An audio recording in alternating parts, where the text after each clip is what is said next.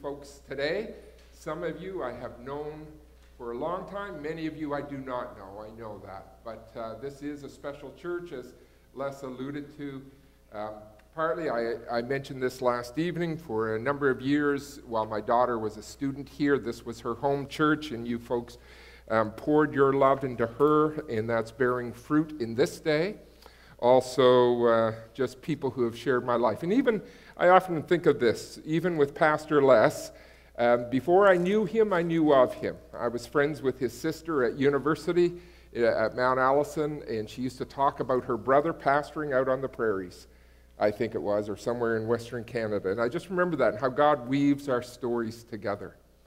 Um, and we had a great time last night. And I love being in this church and what God is doing in your midst. And happy anniversary to you, 128 years. And that seems like a long time on one hand, but I was just thinking after I asked your pastor just to confirm the, uh, what anniversary it was. And yet, on another hand, some of you, it's conceivable that some of you here today could have known people who were here when the first church started we, we tend not to think like that, but 128 years, you know, round that off to, to 130 years. That's, you know, two 65 year lifetimes. So it's conceivable that someone could have been 10 years old when this church started, and some of you as children could have known them in their senior years. And it's not that long. And God's been at work here. And, and I get, when I walked in here, you know, I don't know if it's of the Lord or just my own kind of desires for this church, but that one day this, I look at those seats in the balconies on either side, and that this place could be filled again as people seek the life that is found in Jesus Christ. And I think that's what we have to have vision towards. I'm excited as, uh, as your new pastor will be arriving sometime in the next year. I do not know him particularly well, I know his brother quite well, and if. Uh, being part of the same tree, so to speak, I'm excited for what that future could be for you. And you've been blessed as a church family. I was thinking of the richness of the teaching that you have in terms of Pastor Les and um, Matt and, and others who have poured into you. You truly are a blessed people. Um, I could fill the time. Those of you who know me know I could really do this with small talk. Um, but I do want to bring greetings to you. This isn't small talk, as your pastor alluded to, you're part of a family, and I bring family greetings to you on behalf of your sister churches who make up this mission partnership called the Canadian Baptists of Atlantic Canada, um, and also uh, from those who serve in leadership on our behalf. So, our president this year, Reverend Wayne Murphy from Lancaster Baptist Church in St. John, and our executive minister, Dr. Peter Reid. Um, and I want to talk with you about a particular emphasis that we are inviting and calling churches to. I have a passion, I won't take you all through it, but I have a passion for um, our congregations being all that God calls them to be where they're at. And I believe the wonderful thing about congregational life is we never have to feel like, well, we're such and such an age, so our future is short. God is always bringing his renewal. And that's what he's desiring to do. And some and many of our most fruitful or vibrant congregational witnesses in Atlantic Canada are churches that have had long, um, long histories, relatively speaking. Uh, and they continue to be making significant impact for the kingdom where they're at. Um, one of our initiatives, and I want to talk, you'll see even in the bulletins you received this morning on the way in, is um, about uh, markers of a mission edge. And I want to talk about what that means as we encourage churches to be living into that kind of paradigm. And that's where I want to be going. And our, as for scripture this morning, I want to incorporate it into the message because I think it'll uh, appear uh, on our PowerPoint presentation within a few minutes. But first, I want to tell you about a story that you might have heard um, this summer on the news. It came, it happened in Cornwall, Ontario. Um, it happened to be an elderly lady this happened to, but it could have been any of us. In fact, I will tell you a little story that when I rent cars, I always know what make of car I rent, but sometimes I've gone out looking for the car in a parking lot and I can't remember what color it is. Um, But this lady had gone into her enterprise agency needing to rent a car for a couple of weeks, and she rented a black Nissan Sentra four door sedan. As she was picking up the car, the helpful attendant explained that this was a keyless car with a push button start, and all she needed to do was to ensure that she kept the key fob with her within her purse and she'd never need to kind of stop and fumble to fish it out. Her first stop that day after picking up the car was to uh, go to her local Walmart. And she did that, and then she just carried on doing her thing for the next couple of weeks before returning the car. Now, as she was using the car, she realized, she said, um, that it was beginning to dawn on her that the car wasn't in very good condition for being a rental car. Um, she noticed that. Uh, uh, it hadn't been cleaned very well, and when she opened up the trunk, she even found they had overlooked and left a set of golf clubs in the trunk of the car.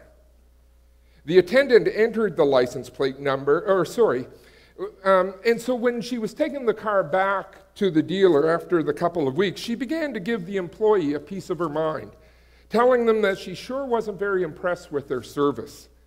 The car they gave her hadn't been, as I alluded to, very clean at all and she told them about, you know, the golf clubs in the trunk. The attendant apologized. He said, I don't know how that would have happened. He uh, entered the license plate of the car into their computer and he said to her, Well, ma'am, we never rented you that car. Now, she interpreted this as merely being another example of their gross incompetence. They most certainly had rented her the car. Did they think she was senile? and didn't know where she had rented the car from. Why? The key fob even had the enterprise tag right on it. And the employee pointed out that the key fob was for a Nissan, and, whereas she was returning with a black four door Infiniti sedan. Now, I guess I had pictures up here, but I can't see. Maybe that they're not able to have the presentation working. The manager was called over. Um, and they began to piece together what had happened because he recalled hearing of a black Infiniti being stolen from a nearby Walmart two weeks before. And so the manager and the woman together they drove over to the Walmart and there they found the pristinely clean black Nissan Sentra sitting exactly where she had parked it 2 weeks before. They contacted the police and the story began to come together. What happened was that as the owner of the Infiniti was getting out of his car that day to run into the Walmart, he happened to drop his key fob and it slid down into the nether regions under the driver's seat and he wasn't able to retrieve it. Figuring he'd only be a couple of minutes, he decided just to leave the car unlocked, ran into the store, and that he would fish out the key later. Upon his return, however, the car was gone. He reported the car stolen, and after two weeks of hearing nothing, he figured it was long gone to some chop shop or other. So, of course, no charges were filed, thankfully. The elderly woman, she apologized profusely for her mistake, and the gentleman was just happy to have his car back, no worse for the wear, with his golf club still in the trunk where he had left them. So, why do I tell you that story? It's kind of an interesting story you know, we can relate to this lady. I know all the time when we rent cars, even it happened yesterday, my wife or my child will go up to another car waiting to get into it, uh, thinking it's the car we have. But I tell you, because as I reflected on this story, I thought how often we as churches can be like this lady, you know, as she for two weeks drove around in the wrong car, kind of oblivious to what was really going on. Um, she knew in this way, she knew something wasn't quite right, but she figured that whatever was wrong must have been someone else's fault or issue. It couldn't possibly be hers. It must have been the rental agency's fault that the car was so dirty and that the golf clubs had been left in the trunk, that the attendant was obviously so incompetent um, to think that the car hadn't been rented uh, from them. Not once she had she really began to consider that maybe she was the one who was mistaken or misinformed within some of her assumptions. And I don't say this harshly. I love the local church. I'm blown away with what our churches are doing. But, but I think at times we just have to kind of keep asking ourselves, where can we be prone to these kind of things? And are there times when we ourselves confuse our identity and our calling, our mission, our reason for existence, when we make it about things that it was never really ultimately meant to be about? An example that illustrates this as well as any is uh, the guy who recently explained to his pastor why he was no longer attending that church. And, and this was what he said. This pastor told me this in the last month or two because he, he said, I'd gone to visit this guy, no longer attending our church. And the guy said, Well, I'll tell you why I'm no longer attending your church. Your church used to be a church that knew the difference between an eighth note and a quarter note, but it no longer knows that. And so I'm not going anymore. Now, I'm all about music and, and, and excellence. And I mean, we're so blessed. You guys are so blessed musically. But we always have to know what is the mission for our church? Recognizing the utmost important for, importance for churches to properly grasp and embrace and live out their true God given identity and mission, the CBAC is inviting churches to, to become mission edge churches. We're still putting this together and, and preparing resources that over time we just want to begin to prepare the, the field, so to speak, prepare, develop awareness of this term of what mission edge is about. It's not significantly different than from when we were using the missional church uh, conversation. But we do find that the churches are resonating with this notion of what it is for us to be mission edge in the communities where we are as a working group, as we worked on this within our CBAC office, uh, we came up with a definition. And the formal definition that we wrote of a mission edge church was this. And no one's going to memorize this, but as you think about it, this kind of gives us some direction and understanding. The definition was that a mission edge church is a church displaying the good news of Jesus in both word and in deed in its local community in ongoing, relevant, and contextual ways for its locality. And we could unpack all of that, but we're not to be just uh, a, a series of franchise churches looking the same in every community. Every church is unique, every community is unique. What's it mean for us, given who we are, to be displaying the good news in word and in deed in a relevant way within the community we're in?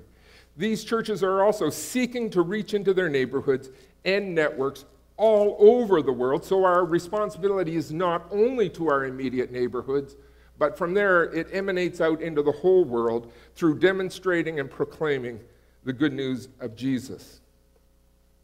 Mission Edge really is about being the presence of Jesus in our neighborhoods and in our world by emulating Jesus' example. Again, I want you to understand it's not that we think churches aren't seeking to do this. We want to add wind into their sails in doing this. So I always worry that it's because there is a trend lately. I don't know if you've noticed it. My, I was talking about it with my brother and his wife at breakfast this morning. That a lot of church leaders dump on churches. I don't want you to think I'm dumping on you. In fact, again, I'll tell you, I am I always feel I'm on holy ground in a special way when I gather with congregations throughout Atlantic Canada. But we do want to be, if you will, adding wind to the sails in the direction that churches are seeking uh, to be living out this good news. But it is about being the presence of Jesus in our neighborhoods and world by emulating his example. We are the body of Christ in the world today. But let's look to Romans 15 as we read from the message the example Jesus has set for us in this sort of way. So, beginning at verse 1, those of us who are strong and able in the faith.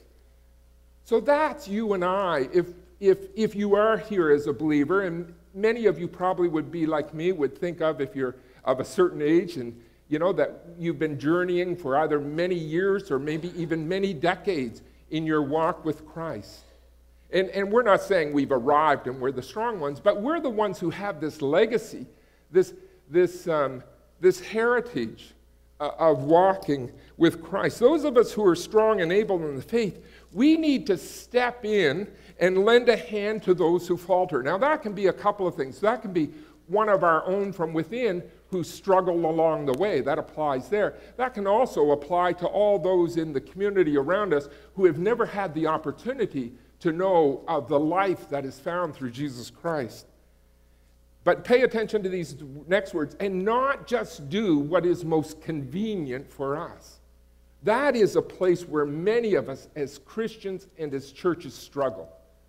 That we assess things in terms of what is convenient or comfortable for us personally, more so than will it make us effective in the mission that we're called to do. So Paul says those of us who are strong and able in the faith need to step in, lend a hand to those who falter, and not just do what is most convenient for us. Paul says strength, this, heres, this um, legacy, this heritage, is for service, not status.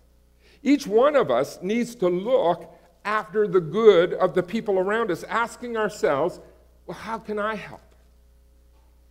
And then Paul says that's exactly what Jesus did.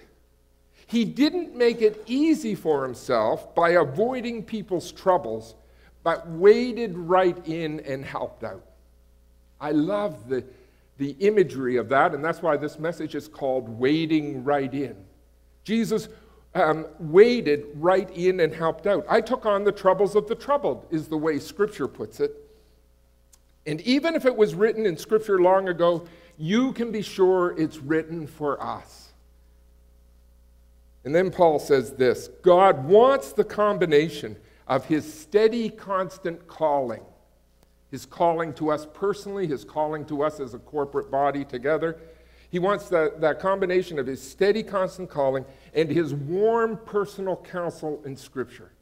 I just love the beauty of that understanding of what Scripture is about. His his warm personal counsel in Scripture. He wants those two things to come to characterize us, keeping us alert for whatever He, God, will do next. And that's a theme we talk about joining God in the neighborhood, understanding God is at work. And we're looking, in a sense, to merge into what God is doing. And then Paul says, May our dependably steady and warmly personal God develop maturity in you. And here's the picture of maturity that Paul gives us it's not how many verses we can memorize and, and recite. Not that that's not important, of course it is. But here's the picture of maturity that we get along with each other as well as Jesus gets along with us all. And then we'll be a choir, not our voices only, but our very lives, singing in harmony in a stunning anthem to the God and Father of our Master Jesus. We've just heard beautiful um, songs here, anthems, and that's what we are before the watching world as we live in harmony with one another in the mission that God has called us to. Jumping down to verse 15, um, Paul says this I'm simply underlining how very much I need your help in carrying out this highly focused assignment God gave me. And you can know this if God gave Paul a highly, a, a highly focused assignment, we also have this highly focused assignment. And what is our assignment? It is this priestly and gospel work of serving the spiritual needs of the outsiders, putting the needs of the outsiders even ahead of our own needs. Now, within the context, and if you understand the time in, of this, it's about taking the gospel to the non Jewish outsiders. But the theme, the principle, remains the same so that they can be presented as an acceptable, acceptable offering to God, made holy and holy by God's Holy Spirit. So that's the example we're called to emulate as a local church of wading right in to reach out in a special way to those who are as yet spiritual outsiders. But then we began to think as we thought of all this well, what would a mission edge church look like? How, what, what kind of a direction should these churches be looking to be living into? And so, to answer that question, we identified six markers or six elements that we believed would be common to any mission edge church. We don't know if it's the end all and be all, but we think it covers many of the bases. And I want to highlight these six markers to you, but first I want to tell you that although uh, we didn't list them in any particular order, I kind of wish, and I think in our next printing of this, um, I kind of wish that we placed the last one first, as I think it informs and makes sense really of the other five. And so, even this morning, I want to identify that one first. So, that last marker on your card, but which I want to identify first, is that a mission edge church embraces both the gathering and the scattering expression or nature of the church.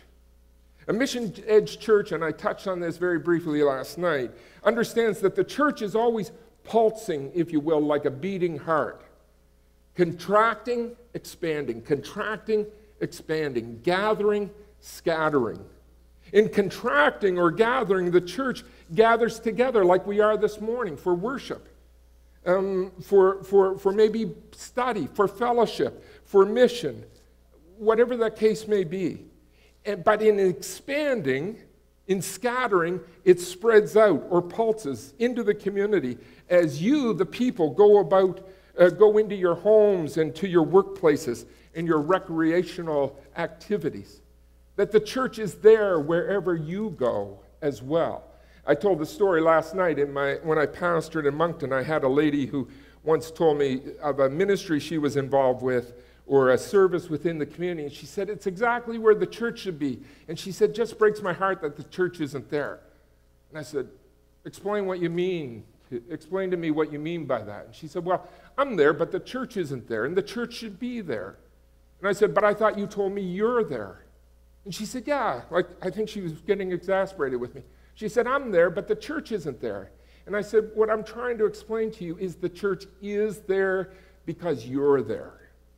Now, I also understand you could say, I wish more people were there, more resources were being directed to this, but wherever you go, taking care of your grandchildren, um, working, I was talking to Trey last night, who's a librarian, and uh, wherever you go into your life in the um, work week ahead, that's where the church is.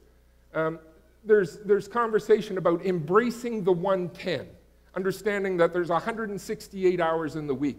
If we're fortunate, maybe we get 48 hours of sleep a week.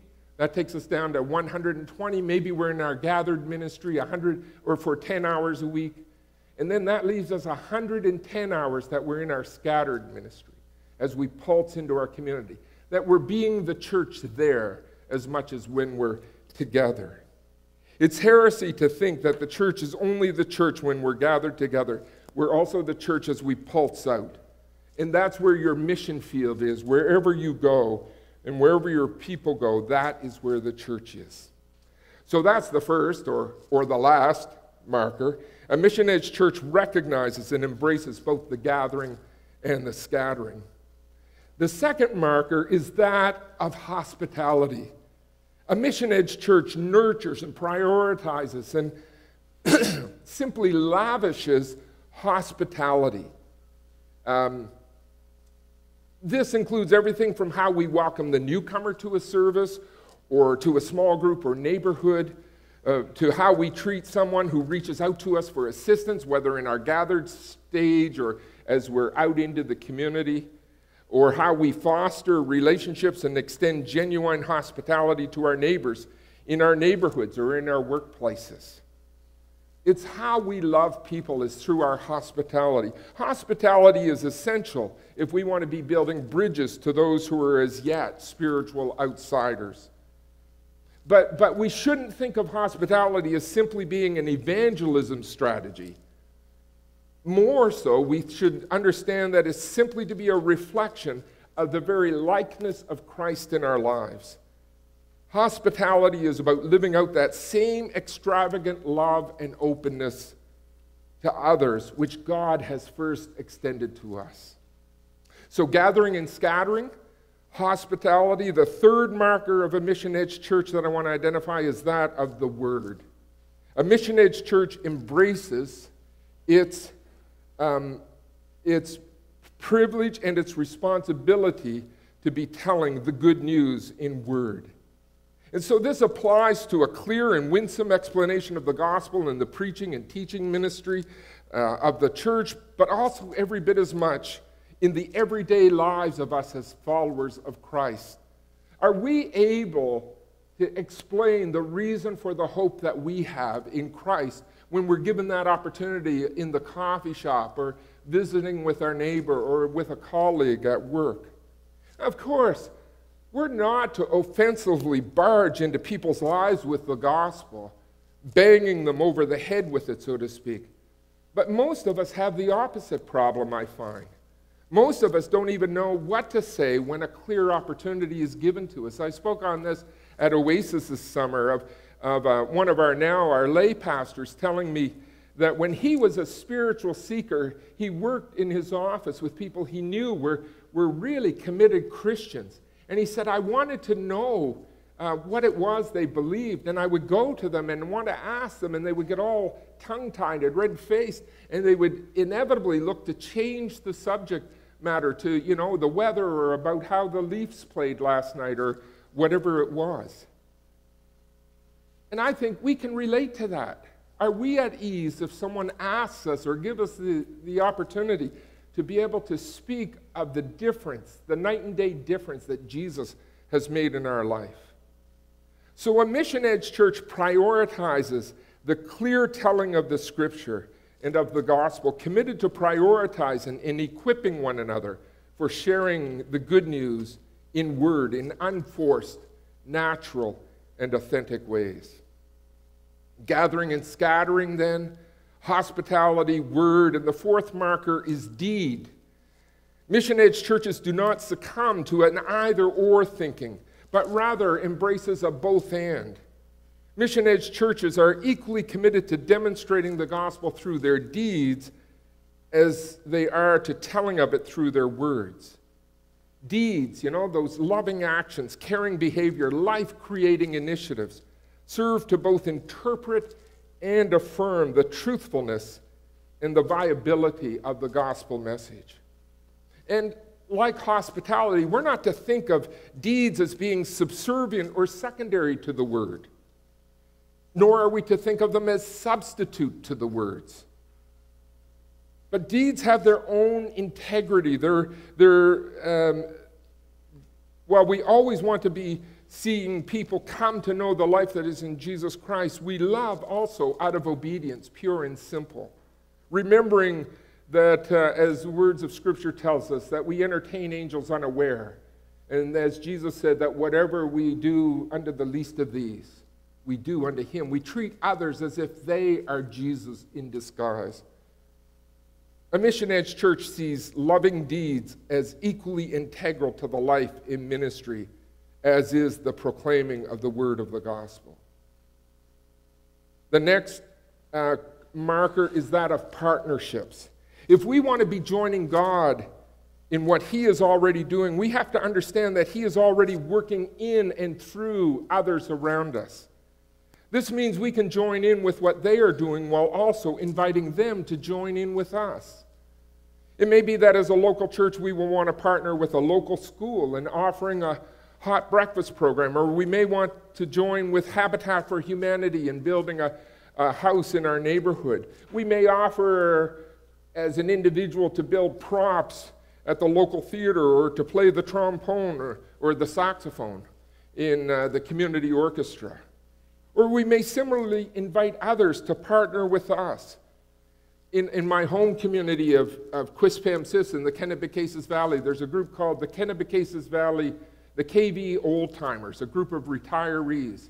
And they go around and they'll partner with groups in helping people. And it could be anything from building a deck for someone who's been disabled by a stroke, or they may um, help, you know, um, a, a single mom put a new roof on a house, or help a widowed lady get the wood split and put into the house. They do that kind of projects, and they'll partner with various community organizations, including churches in that kind of work. Partnerships multiply, impact, and foster the formation of relationships, realizing that closer relationships allow for more natural opportunities to live the good news of the gospel before our neighbors. And so then the sixth and final marker is that Mission Edge churches are committed to understanding the culture of the neighborhoods they're in. Think about it. In the incarnation, in the act of Jesus coming, uh, or of God coming in the person of Jesus, God came to our level. That's the whole story, really, as we approach um, Advent and Christmas. The Word became flesh and dwelt or made his dwelling among us. In other words, he moved into our neighborhoods, he pitched his tent among us. It was God who took the initiative to bridge the gap to where we were. And we are to emulate his example. We need to be going into our neighborhoods, bridging the gap that exists between us and them. We need to become the missionaries that we have expected our missionaries to be for hundreds of years now. I mentioned last night that I was with Dr. John Keith. John's now 86 years old, used to be one of the head guys for Canadian Baptist Overseas Mission Board. And I was asking him, how many languages could he speak? I knew he had worked in various places around the world. And he said, Oh, I got to think about it. And I just said, You know, you can speak fluently or have some measure of a working ability in it. And he, he came back after thinking about it. He said, um, 10. I think I, it's 10 languages I have a working ability in at least. I mean, that blew me away. But what it also said to me was John understood that language matters. And he knew that missionaries are obliged to learn the language of the culture they're sent to. That it's imperative they work to understand the nuances of that culture. That it's incumbent upon them to find ways to foster trust and relationships with the people they're looking to reach. And as churches in our communities, we need to do the same right where we are. So, gathering and scattering, we talked about the last one. And then going to the top hospitality, word, deed, partnerships, culture. These are the six markers of a church committed to being mission edge. If we want to be joining God in what He is doing in our neighborhoods, what He is doing in us and through us and all around us, then these markers give us direction on how to go about this. I think of them as being like compass markers or horizon markers that help us plot our path.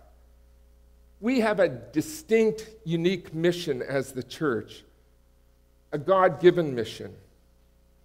And we're not to be hijacking or driving some other mission that really doesn't belong to us.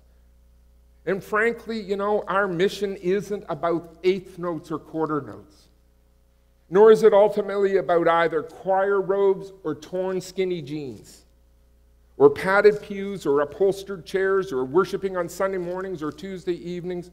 Our mission is about wading right in, wading right into our neighborhoods, into our networks, into our world, not self preoccupied with what is most convenient or comfortable for us, but instead wading right in, looking to bridge the gap and entering into the troubles of others out of the desire that those who are yet the outsiders will come to know for themselves God's love and healing and hope and restoration that is found in Jesus Christ. And so as I close, I want to close with these words now from first from Peter, from 1 Peter chapter 2, again as found as they are in the message. These are Peter's, but these are God's words to all of us. You are the ones chosen by God, chosen for the high calling of priestly work, chosen to be a holy people, God's instruments to do His work and speak out for Him, to tell others of the night and day difference He made for you from nothing to something from rejected to accepted. Let's pray.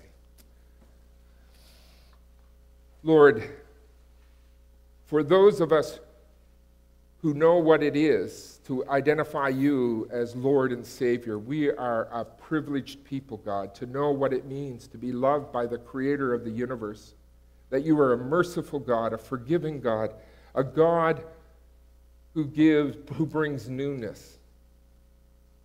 And Father, you, in rescuing us, call us, invite us into your mission of taking the same good news of uh, words of life to the world around us. And we pray, God, that you will lead us. I pray that you will lead this congregation in the journey therein. I also want to say, Father, that if there are some here today who are still seeking, and I hope there are, who don't know what they believe, that God, to know that you are a God who comes to us and invites us into a deep and a deep life of wholeness with you. That, Father, there might be that step towards, uh, to the next step of seeking that relationship with you, even to the point of surrender and inviting you to come in as Lord and master of that life. We pray these things all in Christ's name. Amen.